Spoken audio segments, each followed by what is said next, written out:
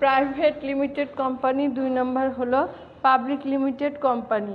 Private limited কোম্পানিতে private limited company আবার কাকে বলে? যে কারবারের সদস্য সংখ্যা দুইজন থেকে সর্বোচ্চ পঞ্চাশ জন, তাকে প্রাইভেট লিমিটেড কোম্পানি বলা হয়। অর্থাৎ দুই থেকে সর্বোচ্চ পঞ্চাশ জন কি থাকবে? সদস্য থাকবে। যে কারবারে সদস্য সংখ্যা দুই থেকে সর্বোচ্চ পঞ্চাশ জন তাকে প্রাইভেট লিমিটেড কোম্পানি বলে। এই প্রাইভেট লিমিটেড এখানে হচ্ছে শেয়ার অবাধে হস্তান্তর, এই প্রাইভেট লিমিটেড কোম্পানিতে শেয়ার অবাধে হস্তান্তরযোগ্য হয় না এবং এটা খুব বেশি আকারে অর্থাৎ বড় আকারে ইহা গড়ে ওঠে না। এটাকে হলো প্রাইভেট লিমিটেড কোম্পানি বলা হয়। আর পাবলিক লিমিটেড কোম্পানি কাকে বলা হয়? যে হচ্ছে, সদস্য সংখ্যা সাত। যে কারবারের সদস্য সংখ্যা সাত থেকে ও, হচ্ছে আনলিমিটেড অর্থাৎ হচ্ছে যে যে কারবারের সদস্য সংখ্যা সাত থেকে অজস্র বা অনে সা- সাত থেকে যে কারবারের সদস্য সংখ্যা সাত থেকে হচ্ছে সর্বনিম্ন সাত এবং সর্বোচ্চ হচ্ছে অসংখ্য। সর্বোচ্চ মানে সরি আমার পেন্ট ভালো লিখছে না, আমি মুখেই বলছি। যে কারবারে সদস্য সংখ্যা সর্বনিম্ন সাতজন এবং আনলিমিটেড অর্থাৎ অসংখ্য তাকে পাবলিক লিমিটেড কোম্পানি বলা হয়। এখানে শেয়ার হস্তান্তরযোগ্য হয়, যে মালিকানা যে কোনো সময় পরিবর্তন করা যায়, এটাকে আমরা পাবলিক লিমিটেড অর্থাৎ আনলিমিটেড এখানে সদস্য সংখ্যাও যেমন অনেক বেশি, মূলধনের পরিমাণও সেরকম বেশি। এই যে যৌথ মূলধনী কারবারে কি উপায়ে মূলধনটা সংগ্রহ করা হয়? প্রথমত শেয়ার বিক্রি করে, দ্বিতীয়ত ঋণপত্র বিক্রি করে, তৃতীয়ত ঋণ গ্রহণ করে। এখানে মূলত তিনটা উপায়ে মূলধনটা সংগ্রহ করা হয়। এক নম্বর হলো শেয়ার বিক্রি করে, দুই নম্বর হলো ঋণপত্র বিক্রি করে, তিন নম্বর ঋণ ঋণ গ্রহণ করে। সেটা এখন বিভিন্নভাবে ঋণটা গ্রহণ করতে হয়। এভাবে আমরা যৌথ মূলধনী কারবারে ঋণ কীভাবে ঋণ সংগ্রহ করা হয় সেভাবে আমরা জানব। প্রথমে আবার আমরা আবারও বলছি যে যৌথ মূলধনী কারবার কাকে বলে? যৌথ মূলধনী কারবার কয় প্রকার? প্রাইভেট যৌথ মূলধনী কারবার দুই প্রকার প্রাইভেট ও পাবলিক প্রাইভেট লিমিটেড কোম্পানিতে দুই থেকে সদস্য সংখ্যা পঞ্চাশ আর পাবলিক লিমিটেড কোম্পানিতে সর্বনিম্ন সাত থেকে অসংখ্য হচ্ছে সদস্য থাকে। এখানে পাবলিক প্রাইভেট লিমিটেড কোম্পানিতে শেয়ার হস্তান্তর করা যায় না আর পাবলিক লিমিটেডে শেয়ার হস্তান্তর করা যায়, যে কোনো সময় মালিকানা পরিবর্তন করা যায়। আর ঋণ এখানে মূলধন কীভাবে, যৌথ মূলধনী কারবারে কীভাবে মূলধন সংগ্রহ হয়? তিনটা উপায় মূলধন সংগ্রহ হয়। প্রথমত হচ্ছে শেয়ার বিক্রি করে, তারপরে ঋণপত্র বিক্রি করে, আরেকটা ঋণ গ্রহণ করে। এরপরে আসো বৈশিষ্ট্য, অর্থাৎ যৌথ মূলধনী কারবারের বৈশিষ্ট্য। আমরা তো এর আগে পড়িয়েছি যে প্রত্যেকটা হচ্ছে, প্রত্যেক প্রত্যেকটা কারবারের বৈশিষ্ট্য, সুবিধা এবং অসুবিধা আমাদের ভালো করে পড়তে হবে। দেখো, যৌথ মূলধনী কারবারের বৈশিষ্ট্যগুলো দায় সীমাবদ্ধ। যৌথ মূলধনী কারবারের শেয়ার যারা ক্রয় করে তারা হচ্ছে প্রত্যেকে শেয়ার হোল্ডারের দায় দেনা বহন করে। বই, এক নম্বর হলো অসীম হচ্ছে দায় সীমাবদ্ধ। যৌথ মূলধনে কারবারে যারা শেয়ার করে, তাদের প্রত্যেকের হচ্ছে হচ্ছে মূলধনে অর্থাৎ শেয়ার হোল্ডারের দায় দেনা হচ্ছে বিনিয়োগের চাইতে বেশি হবে না। মানে যে পরিমাণ তারা শেয়ার ক্রয় করবে, ঠিক সেই পরিমাণই হবে। দুই নম্বর শেয়ার হস্তান্তরযোগ্য। যৌথ মূলধনী কারবারের আরেকটা গুরুত্বপূর্ণ বৈশিষ্ট্য হলো শেয়ার হস্তান্তরযোগ্য অর্থাৎ একজনের সে একজন আরেকজনের নাম আরেকজনকে আরেকজনের কাছে শেয়ার বিক্রি করে দিতে পারে। অর্থাৎ শেয়ার হস্তান্তর, অন্যের নিকট হস্তান্তর করতে পারে। কেউ যদি হচ্ছে এখানে এখানে কারও পূর্ব অনুমতির প্রয়োজন হয় না। নিজের ইচ্ছা মতো যে কেউ শেয়ার হস্তান্তর করতে পারে। তিন নম্বর হলো স্থায়ী প্রতিষ্ঠান। যৌথ মূলধনী কারবারের আরেকটা গুরুত্বপূর্ণ বৈশিষ্ট্য হলো স্থায়ী প্রতিষ্ঠান। এবং এখানে যেহেতু শেয়ার হোল্ডার অনেক, অর্থাৎ শেয়ারের মালিক অনেক, কেউ যদি এর মধ্যে যে কেউ যদি মৃত্যুবরণ করে বা বিদেশে চলে বা যায় বা অসুস্থ হয়ে পড়ে, তবুও এই কারবারটি বন্ধ হয়ে যায় না। অর্থাৎ তখন তার শেয়ারটা কেউ তার আত্মীয় স্বজন কিনে নিতে পারে বা অন্যের মাধ্যমে হস্তান্তর করতে পারে। যার কারণে এটার কোনো প্রভাব পড়ে না। অর্থাৎ স্থায়ী প্রতিষ্ঠান হিসাবে ইহা হচ্ছে পরিচিতি লাভ করে। এরপর আরেকটা গুরুত্বপূর্ণ বৈশিষ্ট্য হলো মালিকানা ও ব্যবস্থাপনা পৃথক। মালিকানা আর ব্যবস্থাপনা। ব্যবস্থাপনা মানে কি? যারা পরিচালনা করে। যৌথ মূলধনী কারবারে শেয়ার হোল্ডার অর্থাৎ মালিক এবং যারা কারবারটি পরিচালনা করে, তারা সম্পূর্ণ আলাদা। অর্থাৎ শেয়ার হোল্ডারদের সাথে যারা হচ্ছে কারবারটি পরিচালনা করে, তাদের তেমন কোনো সংযোগ থাকে না। আরেকটা কি? গণতান্ত্রিক ব্যবস্থাপনা। গণতান্ত্রিক, অর্থাৎ যৌথ মূলধনী কারবারে প্রত্যেকের কি করতে পারে? যেহেতু সবাই মালিক শেয়ার হোল্ডার সবাই মালিক, তাই এখানে প্রত্যেকের মতামত প্রকাশ করার অধিকার আছে, তাই এটা গণতন্ত্র প্রতিষ্ঠান হিসাবে পরিচালিত হয়। এরপরে আসো, মূলধনের উৎস। যৌথ মূলধনী কারবারের মূলধনের উৎস, আমরা এর আগে অবশ্য পড়েছি যে তিন উপায়ে মূলধন সংগ্রহ করা হয়। শেয়ার বিক্রি করে, ঋণপত্র বিক্রি করে আর ঋণ গ্রহণ করে। এখানে এছাড়া ঋণপত্র হচ্ছে এগুলো হলো বিভিন্ন উপায়ে যৌথ মূলধনী কারবার কি করে থাকে? ঋণ মানে হচ্ছে মূলধন সংগ্রহ করে থাকে। এভাবে এগুলো হলো আমাদের যৌথ মূলধনী কারবারের বৈশিষ্ট্য। আর একবার পড়ছি, দায় সীমাবদ্ধ, তারপরে শেয়ার হস্তান্তরযোগ্য, স্থায়ী প্রতিষ্ঠান মালিক ও ব্যবস্থাপনা পরিচালনা ব্যবস্থাপক হচ্ছে আলাদা তারপরে মূলধনের উৎস, গণতান্ত্রিক ব্যবস্থাপনা। এগুলো হলো আমার যৌথ মূলধনী কারবারের বৈশিষ্ট্য। এরপরে আসো সুবিধা।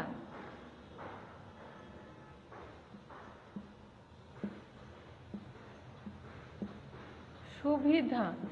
সুবিধা হচ্ছে যৌথ মূলধনী কারবারের সুবিধা।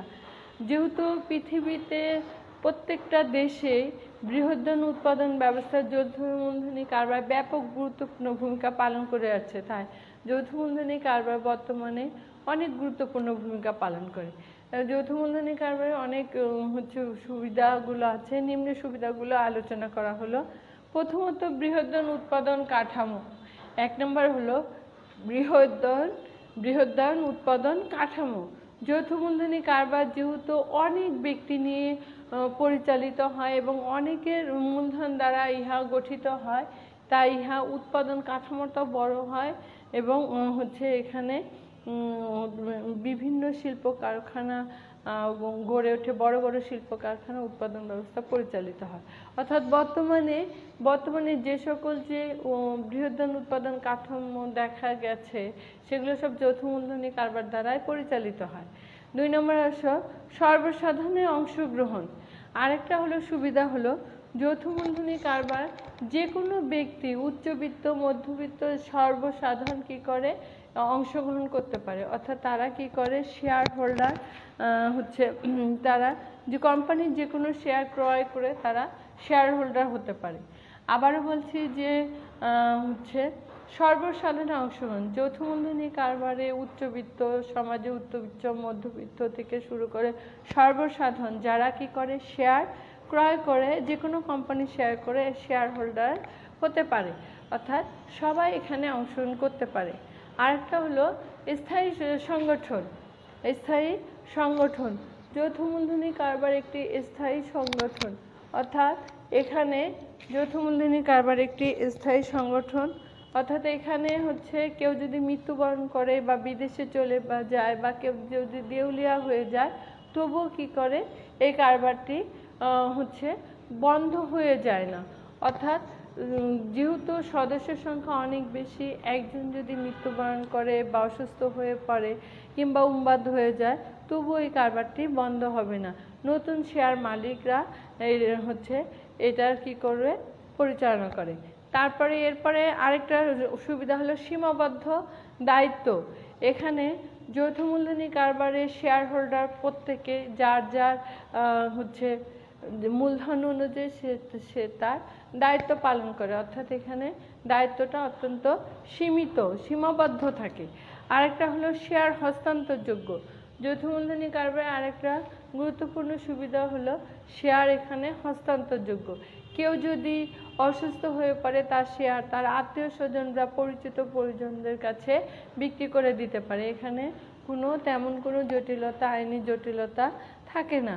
অর্থাৎ পরবর্তীতে অন্য কেউ এটা মালিক, কেউ যদি মারা যায় তাহলে পরবর্তীতে তার মালিক তার আত্মীয় স্বজন বা অন্য কেউ হতে পারে। অর্থাৎ এখানে শেয়ার হস্তান্তরের কোনো বাধা থাকে না। এরপরে আসো, বিনিয়োগ বৃদ্ধিতে সহায়ক। যৌথ মূলধনী কারবারে যেহেতু সঙ্গ হচ্ছে উৎপাদন বৃহদান উৎপাদন ব্যবস্থা এখানে মূলধনের পরিমাণ বেশি, তাই বিনিয়োগও এখানে বেশি পরিমাণ বিনিয়োগ করা হয়। আর বেশি পরিমাণ বিনিয়োগ করার কারণে উৎপাদন ব্যবস্থা বেশি হয়। এরপরে আসো প্রতিভা ও মূলধনের সমন্বয়। প্রতিভা ও মূলধনের সমন্বয়। আরেকটা বৈশিষ্ট্য হলো প্রতিভা ও মূলধনের সমন্বয়। এখানে অনেকেই দেখা যাচ্ছে প্রতিভা সম্পন্ন ব্যক্তি থাকে, যার শেয়ার হোল্ডারদের মধ্যে। আবার অনেকে বেশি মূলধন ইনভেস্ট করে থাকে, বিনিয়োগ করে থাকে। এই উভয়ের মধ্যে কি হয়? একটা সমন্বয় প্রতিষ্ঠিত হয়। এরপর আসো উন্নত প্রযুক্তি ও গবেষণা। যৌথ মূলধনী কারবারে যেহেতু বৃহদান উৎপাদন ব্যবস্থা, তাই এখানে আধুনিক ও যথোপযুক্ত প্রযুক্তি ব্যবহার ব্যবহার করা হয় এবং কি করলে উৎপাদন ব্যবস্থা ভালো হবে সে বিভিন্ন গবেষণা করা এখানে পর্যাপ্ত সুযোগ থাকে। এরপরে আসো সুদক্ষ পরিচালনা। যৌথ মূলধনী কারবারে আরেকটি গুরুত্বপূর্ণ সুবিধা হলো, এখানে দেখা যাচ্ছে যে অনেকে প্রতিভাবান ব্যক্তি দ্বারা পরিচালিত হয় বলে সুষ্ঠু সুন্দরভাবে, সুদক্ষভাবে কারবারটি পরিচালিত হয়। এরপরে আসো আরেকটা সুবিধা হলো বিপুল কর্মসংস্থান। যৌথ মূলধনী কারবারে হচ্ছে কর্মসংস্থান, যেহেতু এটা বৃহদান উৎপাদন ব্যবস্থা, তাই এখানে অনেক মানুষ, অর্থাৎ অনেক কর্মচারী, কর্মকর্তা এখানে বিপুল হচ্ছে কর্মসংস্থানের ব্যবস্থা করতে পারে। তারা বিভিন্নভাবে বিভিন্ন সেক্টরে কাজ করে, অর্থাৎ যৌথ মূলধনী মানেই কি? কারবার মানে বৃহত্তম উৎপাদন ব্যবস্থা। তাই এখানে হচ্ছে বিপুল কর্মসংস্থানের সৃষ্টি হয়। এই হলো আমার যৌথ মূলধনী কারবারের সুবিধা। আরেকবার আমি সুবিধার পয়েন্টগুলো করছি। প্রথমত বৃহদান উৎপাদন ব্যবস্থা, দ্বিতীয়ত সর্বসাধারণের অংশগ্রহণ, তৃতীয়ত হলো একটি স্থায়ী সংগঠন চার সীমাবদ্ধ দায়িত্ব, তারপরে হচ্ছে শেয়ার হস্তান্তরযোগ্য, তারপর উন্নত প্রযুক্তি গবেষণা, বিপুল কর্মসংস্থান, সুদক্ষ পরিচালনা। এগুলো আমার হচ্ছে যৌথ মূলধনী কারবারের সুবিধা। এখন আসো, প্রত্যেকটা জিনিসে যেমন সুবিধা আছে, সেরকম কিছু অসুবিধাও আছে। এটা আমাদের হচ্ছে প্রত্যেকটা জিনিসেরই থাকবে। এখানে যৌথ মূলধনী কারবারে আসলে সুবিধাটাই বেশি। সামান্য কিছু অসুবিধা আছে, থাকবেই তো সেরকম আমরা অসুবিধাগুলো দেখছি। প্রথমত হলো শেয়ার হোল্ডার এবং পরিচালকের মধ্যে সমন্বয়ের অভাব। খেয়াল করো প্রথম অসুবিধা হলো সে অসুবিধাটা করছি।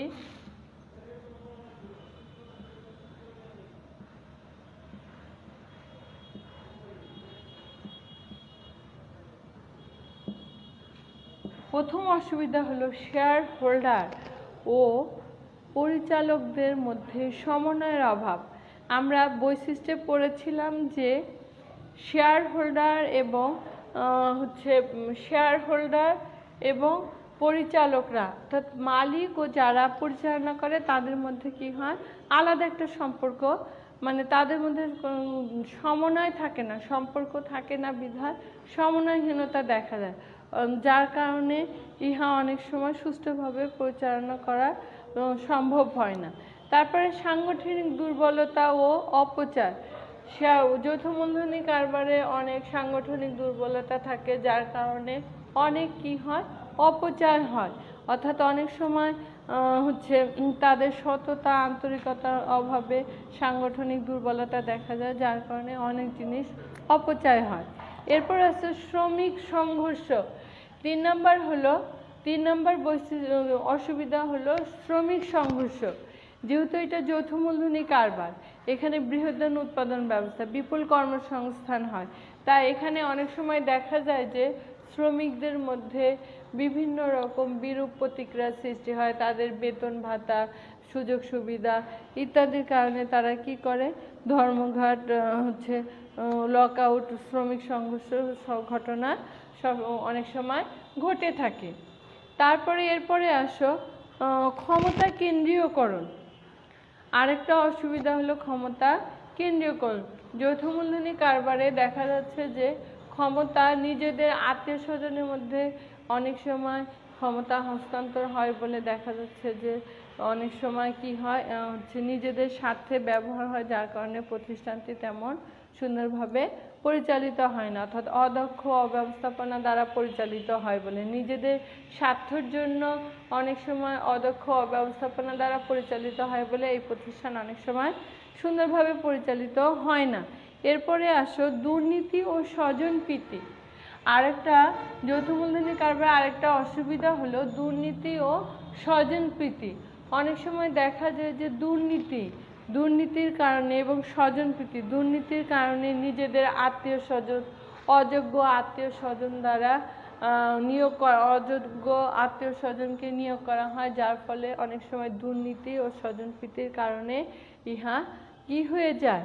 ইহা হচ্ছে অনেক খারাপ অবস্থা দেখা দেয়। এরপরে আসো, শেয়ারের ফটকা ব্যবসা। শেয়ারের আরেকটা অসুবিধা হলো শেয়ারের ফটকা ব্যবসা।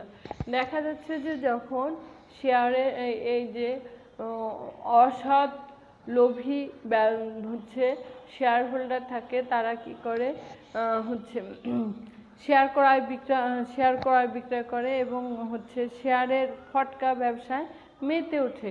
অর্থাৎ তারা মানুষকে ঠকায়। বেশি দামে অনেক সময় তারা শেয়ার ক্রয় করে, কম দামে বিক্রি করে। এভাবে অনেক হচ্ছে ফটকা যেটাকে আমরা মধ্য অর্থাৎ উপর থেকে তারা লাভবান হয়। আর প্রকৃত ব্যক্তিরা ক্ষতিগ্রস্ত হয়। এরপরে আরেকটা হলো সম্পদের অসম বন্টন। যৌথ মূলধনী কারবারে আরেকটা অসুবিধা হলো সম্পদের অসম বন্টন। দেখা যাচ্ছে যে যে পরিমাণ মূলধন নিয়োগ করা হয় যেভাবে, সে পরিমাণ দেখা যাচ্ছে যে সম্পদের পরিমাণটা সুষমভাবে বন্টন হয় না, যার কারণে অনেক রকম সমস্যা দেখা দেয়। তো প্রত্যেকটা জিনিসের যেমন সুবিধা আছে, সেরকম অসুবিধাও আছে।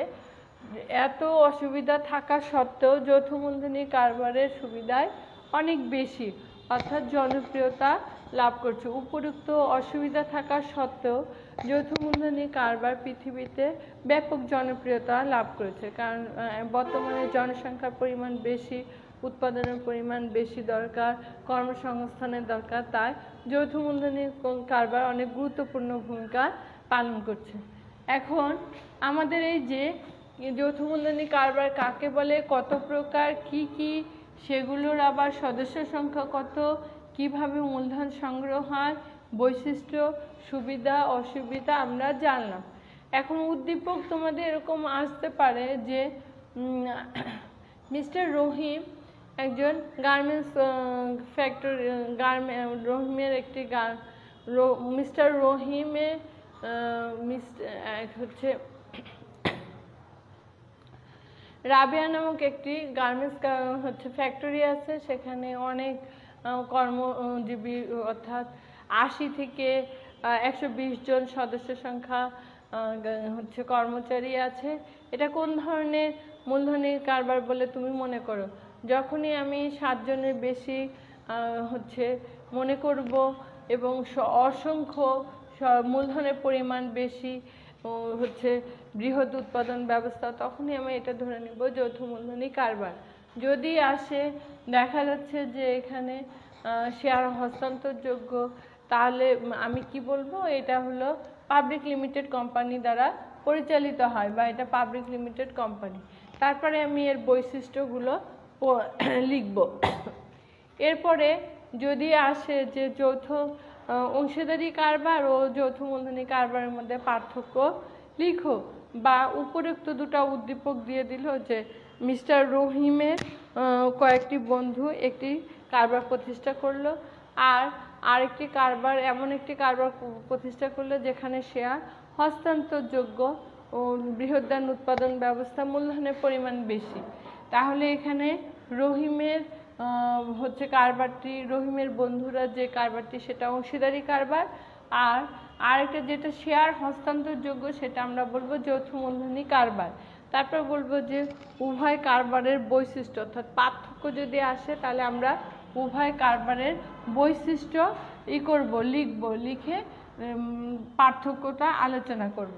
আর যদি এরকম আসে যে তুমি কোন কারবারটি উভয় কারবারের মধ্যে কোন কারবারটি বেশি হচ্ছে উপযোগী বা যথোপযোগী বলে তুমি মনে করো, এরকম যদি আসে, তাহলে আমি বলব যে যৌথ মূলধনী মূলধনী কারবারটা বেশি হচ্ছে উপযোগী। কেননা বৃহদান উৎপাদন বর্তমানে জনসংখ্যা পরিমাণ বেশি, উৎপাদনের পরিমাণ দরকার, বেশি দরকার, কর্মসংস্থানের সংখ্যা বেশি দরকার। তাই এখানে অংশীদারি কারবারের থেকে যৌথ মূলধনী কারবারটায় ব্যাপক গুরুত্বপূর্ণ ভূমিকা পালন করে। তারপরে আমরা যৌথ মূলধনী কারবারে কিছু সুবিধা দিয়ে দিব। যেমন স্থায়ী সংগঠন সর্বসাধারণ অংশগ্রহণ করতে পারে, তারপরে বিনিয়োগ বৃদ্ধিতে সহায়ক হয়, তারপরে হচ্ছে বৃহত্তম উৎপাদন কাঠামো, উন্নত প্রযুক্তি গবেষণা, এগুলো আমরা কিছু হচ্ছে সুবিধা আলোচনা করে বলব। সর্বশেষে যে বর্তমান আধুনিক যুগে প্রত্যেকটা পৃথিবীর প্রত্যেক দেশে বৃহদান উৎপাদন ব্যবস্থা গুরুত্বপূর্ণ জন, হচ্ছে ভূমিকা পালন করতেছে এবং অধিক জনপ্রিয়তা লাভ করতেছে। অর্থাৎ যৌথ মূলধনী কারবার, যৌথ মূলধনী কারবারে কিছু অসুবিধা থাকলেও ইহা অনেক জনপ্রিয়তা লাভ করছে। এভাবে আমরা যৌথ মূলধনী কারবারের বৈশিষ্ট্য, সুবিধা, অসুবিধা আলোচনা করব।